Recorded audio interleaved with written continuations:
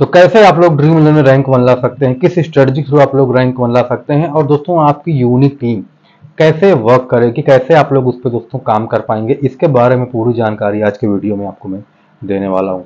तो अगर आप लोग चैनल पर नए हैं तो आप लोग सब्सक्राइब कर लें, क्योंकि आपके लिए काफ़ी इंपॉर्टेंट होने वाला है। दोस्तों रैंक वन कैसे आती है? जब मैंने ड्रीम इलेवन में फ़र्स्ट अर्निंग की थी तो मेरा अमाउंट सिर्फ़ डेढ़ सौ रुपए का था। जी हाँ सिर्फ़ मैंने उनचास रुपए की टीम लगा के डेढ़ सौ रुपए पहली बार अर्न किए थे। ये बात लगभग सर दोस्तों 2019 की।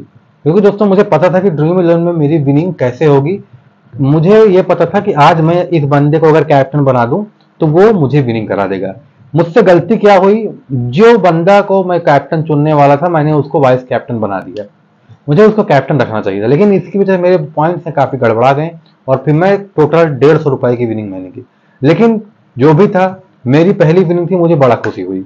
क्योंकि मैंने पहली बार ड्रीम इलेवन में उनचास रुपए लगा के पैसे कमाए थे। पूरे सौ रुपए ज़्यादा कमाए थे।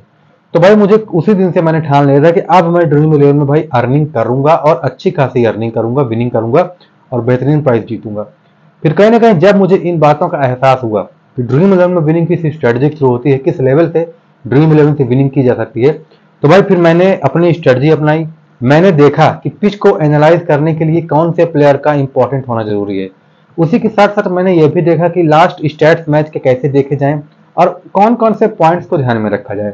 उन्हीं के साथ साथ इन बातों का भी ध्यान दिया मैंने कि भाई वेन्यू के साथ साथ पिच रिपोर्ट का भी बहुत अहम रोल होता है।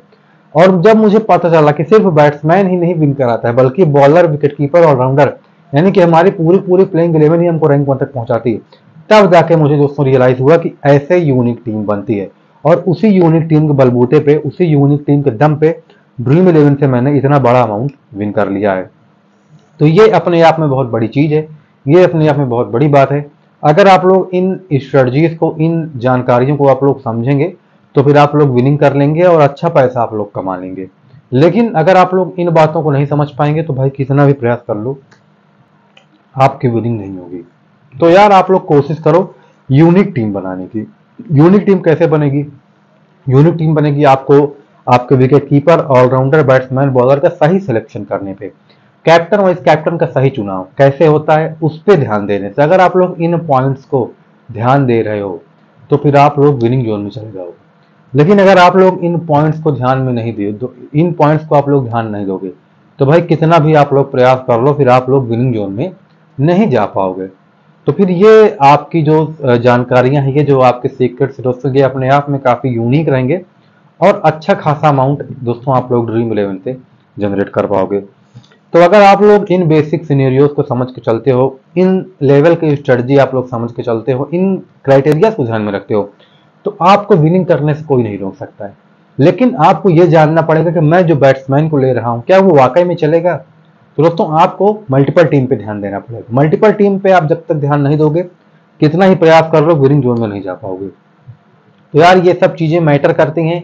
ये सब चीज़ें काफ़ी इंपॉर्टेंट हैं। आप लोगों को इन्हीं सब चीज़ों के बदौलत, इन्हीं सब चीज़ों से आपको पता करना है कि ड्रीम इलेवन में विनिंग कैसे होती है। बाकी जब तक आप लोग चैनल जुड़े हैं, आपको यहाँ पे A to Z information Hindi में मिलेगी, जिसके माध्यम से आप लोग अच्छी विनिंग कर पाएँगे।